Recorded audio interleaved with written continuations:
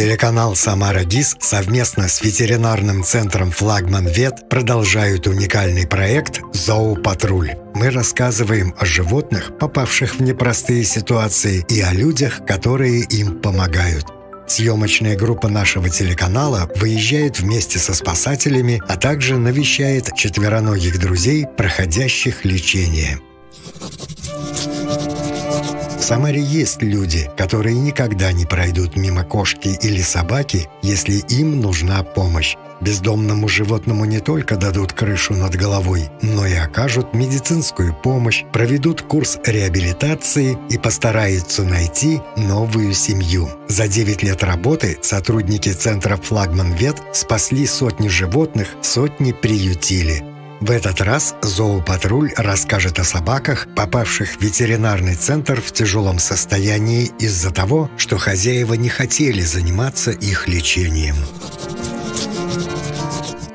Пес Миша радуется солнышку около госпиталя ветеринарного центра, где он проходит лечение, пока на прогулке его выносят на руках. Он лежит и нюхает воздух. Но в будущем, как надеются врачи, сможет гулять на коляске – так же, как Юлик, инвалид-спинальник, который после лечения уже пять лет живет в госпитале. Задние лапы он не чувствует совсем. И, к сожалению, такие травмы, как правило, не восстанавливаются. Мы очень надеемся, что Миша полностью восстановится и когда-нибудь сможет так же радостно гулять на коляске, как наши другие постояльцы, такие как Июль. Мишу случайно обнаружили неравнодушные самарцы. Травмированный пес лежал во дворе частного дома в поселке Запанской без какого-либо ухода. Как выяснилось, на голой земле и под открытым небом бедолага пролежал больше двух месяцев после встречи с машиной или поездом. Хозяин давал собаке еду и воду, но ветеринарную помощь не оказывал. Информация о страдающем псе быстро облетела самарские паблики. Узнала о беде и Александра. Я увидела пост, так же, как и многие неравнодушные, а потом ко мне обратилась непосредственно девушка, которая как раз этот пост и создала.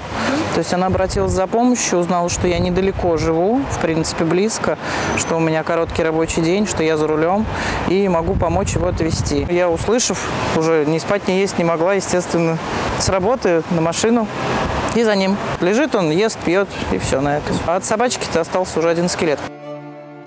Александра забрала измученного Мишу, лежавшего под холодным проливным дождем, и сначала отвезла его на рентген. Но для того, чтобы установить точный диагноз – компрессионный перелом позвоночника, потребовалось более серьезное исследование – МРТ. За месяцы, которые пес провел неподвижно лежа, у него образовались множественные глубокие, практически до костей, пролежни. На лечение и реабилитацию волонтер привезла собаку в ветеринарный центр. На данный момент э, работа с пролежнями ведется. Э, они уже не в таком состоянии, что тоже уникальное событие. Что собака, которую никто не переворачивал, которая самопроизвольно, там, в зависимости от того, какие, наверное, возможности у нее были, каким-то образом передвигалась, как она смогла прожить два месяца и, скажем так, не получила заражение крови, ну, это тоже чудо. Надеюсь, ему найдется место в нашей команде, он встроится в ряды собак-инвалидов, а и у него даже есть, э, скажем так, по типажу э, прекрасная невеста, собака Тяпа, которая у нас, э, ну, мы так ее называем невестой Миши, что они очень сильно похожи. Она получила свою травму из-за выстрела вот, и разрушения спинного мозга. Миша мог получить помощь намного раньше, если бы его хозяин обратился в волонтерские организации. Ничего не сообщил зоозащитникам и хозяин собаки Полли, которую нашли на улице в состоянии крайнего истощения, угрожающего жизни. Бездомные животные с такой проблемой не сталкиваются. Они уже знают, как добывать себе пищу, они могут выжить на улице. А, какое-то длительное время собака содержалась ненадлежащим образом, а потом оказалась на улице.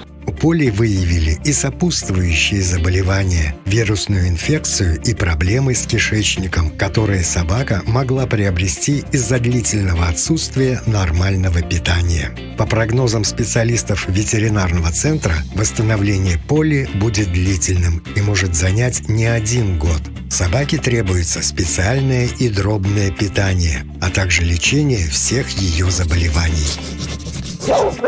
Живет в госпитале и пес Тиша. Его хозяин ушел в зону СВО, и от стресса питомец очень похудел. Я бы даже сказала, что он впал в депрессию, он очень долгий период э, очень мало ел, поэтому, конечно, он сбросил вес на фоне сильного стресса. Вот. У него воспалился кишечник, к тому же мы его лечили.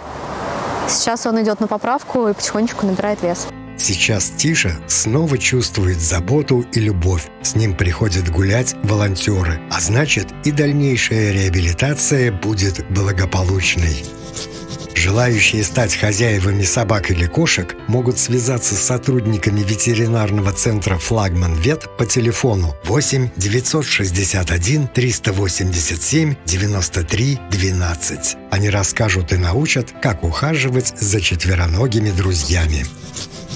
В рамках проекта «Зоопатруль» корреспонденты телеканала «Самара ГИС» вместе с волонтерами выезжают туда, где четвероногим друзьям человека требуется помощь и показывают, как спасают животных. Стоит напомнить, за жестокое обращение с братьями нашими меньшими грозит уголовная ответственность. Максимальный срок наказания составляет 5 лет лишения свободы.